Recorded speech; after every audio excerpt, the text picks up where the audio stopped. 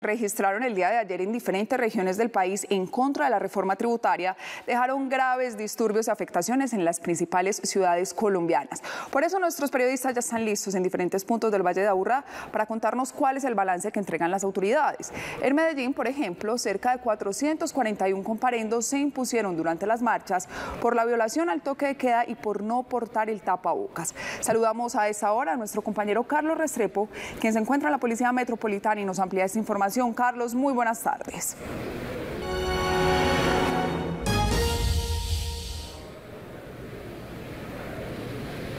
Compañeros televidentes, ¿qué tal? Buenas tardes. Pues dentro de ese balance que presentó la Policía Metropolitana luego de la jornada de protestas del día de ayer y de los diferentes desmanes que se presentaron en la capital antioqueña, la Policía Metropolitana presentó un balance de lo que ocurrió durante esta jornada. Dentro de eso se puede destacar que fueron conducidas 66 personas por los diferentes delitos que se presentaron durante estas movilizaciones. Dentro de ellas se destacan que fueron también movilizadas 8 personas de nacionalidad extranjera. Además también fueron vandalizadas seis semáforos, cuatro cámaras de fotodetección, además de 45 vehículos que fueron destruidos.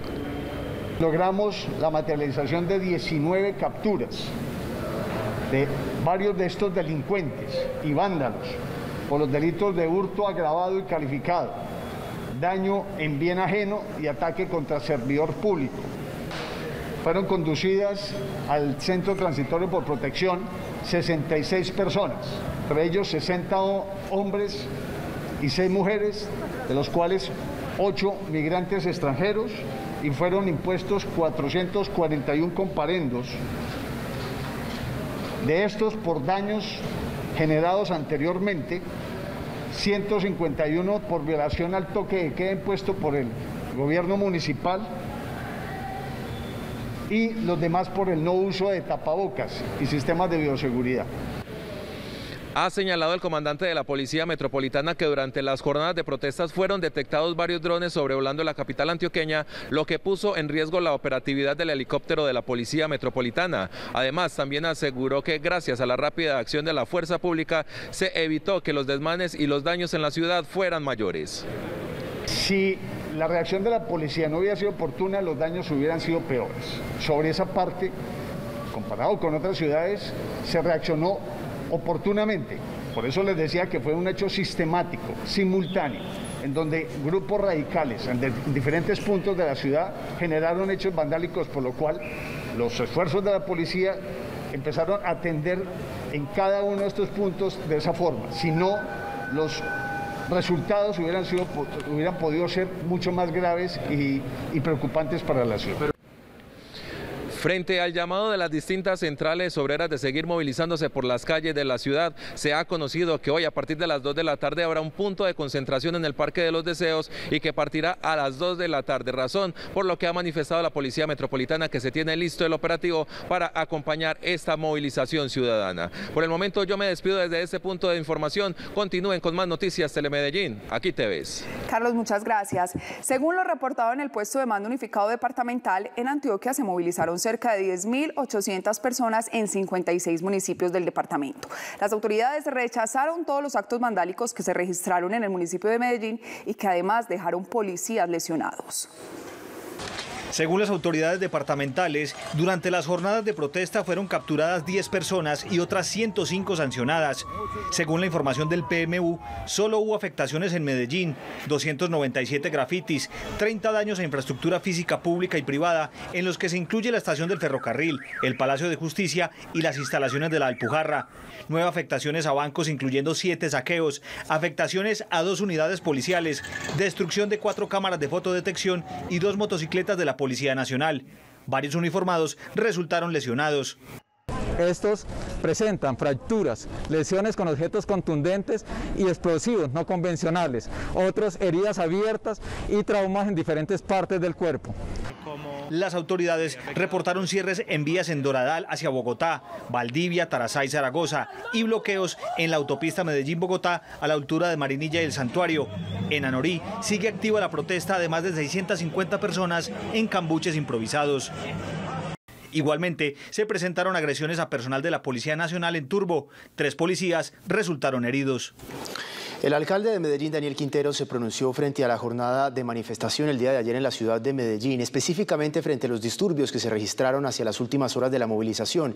Durante toda la tarde y también gran parte de la noche, un equipo interdisciplinario de la alcaldía estuvo atendiendo los desmanes que se registraron en la ciudad. Porque lo que se vivió ayer en Colombia fue muy dramático. Aquí fue muy difícil, todos aquí estamos trasnochados porque hasta muy, muy tarde estuvimos eh, luchando para que no se nos metieran en los locales comerciales, para que no saquearan, para que no nos dañaran el transporte público, con el gerente del metro esta tarde también para que no nos dañaran el metro. Es decir, realmente eh, tenemos que repensar las formas como expresamos nuestra insatisfacción, porque es normal no estar satisfecho, pero también esa insatisfacción no se puede convertir en una licencia para destruir a mucha gente que tampoco no tiene la culpa y que también está sufriendo de la misma manera. El fiscal general de la Nación, Francisco Barbosa, dijo que ayer las autoridades capturaron a 18 personas en flagrancia cometiendo actos vandálicos y anunció que estas personas serán judicializadas. No hay explicaciones de ninguna índole para tratar de mostrar que el intento de anarquización que ha sido promovido por sectores afectos a la delincuencia en Colombia no se cumplió. Incluso llegaron a burlarse de decisiones judiciales.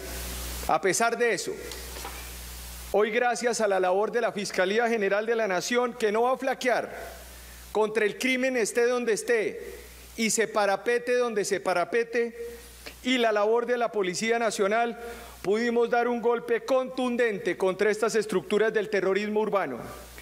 El día de hoy dimos captura en Cali y en Bogotá a los líderes de estos movimientos terroristas que intentaron romper la institucionalidad en Colombia.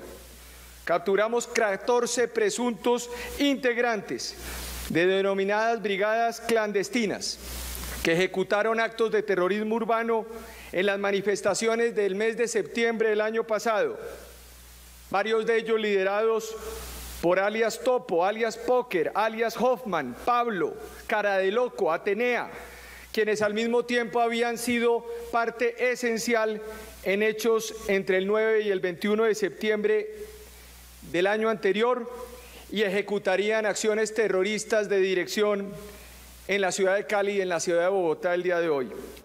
El presidente Iván Duque también se refirió a los desmanes provocados en varias ciudades del país y los catalogó de vandalismo criminal. Además dijo que la violencia no es el camino, sino el diálogo y los consensos para disipar los inconformismos.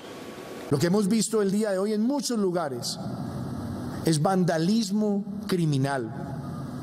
Es atentar contra la infraestructura, contra los negocios de otras personas, contra los medios de comunicación y la violencia no nos va a resolver ninguno de los retos que tenemos que enfrentar como país. Aquí no hay caprichos, aquí no hay posiciones tosudas, tercas. Y no puede ser la violencia el mecanismo de expresión y mucho más en medio de un tercer pico de la pandemia que puede exacerbar aún más la situación que ya se vive de alta ocupación de UCIs, y donde también estamos buscando oxígeno como lo están haciendo tantos países del mundo para mantener una capacidad disponible de respuesta a la ciudadanía. Y ante las marchas presentadas en el país, la Defensoría del Pueblo realizó durante la jornada un puesto de mando unificado interno encabezado por el defensor del pueblo Carlos Camargo, donde participaron defensores delegados y regionales monitoreando y acompañando las manifestaciones en los diferentes lugares del país. El defensor se refirió a las marchas y a las alteraciones de orden público registradas. Han ocurrido casos aislados de disturbios, vandalismo contra instituciones y comercios así como brutales agresiones físicas que han protagonizado personas que con su actitud mancharon las causas que la ciudadanía quiso expresar.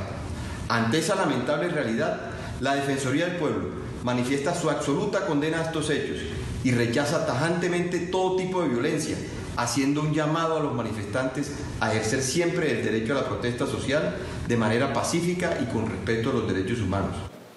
En la noche las protestas fueron muy diferentes a las de la tarde en el Valle de Aburrá. Un cacerolazo sirvió como voz de rechazo a la reforma tributaria. Con ollas, tapas y cacerolas se cerró el día de marchas. En diferentes puntos del Valle de Aburrá, los ciudadanos nuevamente rechazaron la reforma tributaria. Esta demostración de inconformidad contrasta con la de los desmanes de la tarde. La jornada de manifestaciones en la noche se sintió en conjuntos residenciales y edificios con arengas desde los balcones y por supuesto sin daños.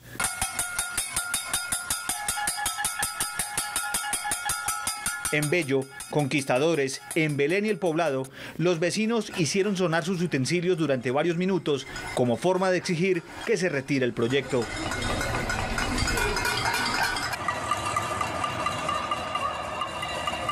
Aquí no hubo aglomeraciones, no hubo disturbios, no hubo violencia, solo el sonido de la inconformidad, representado en una cacerola que tras retumbar seguramente volvió a la cocina para nuevamente ser utilizada en una estufa de un hogar en Antioquia.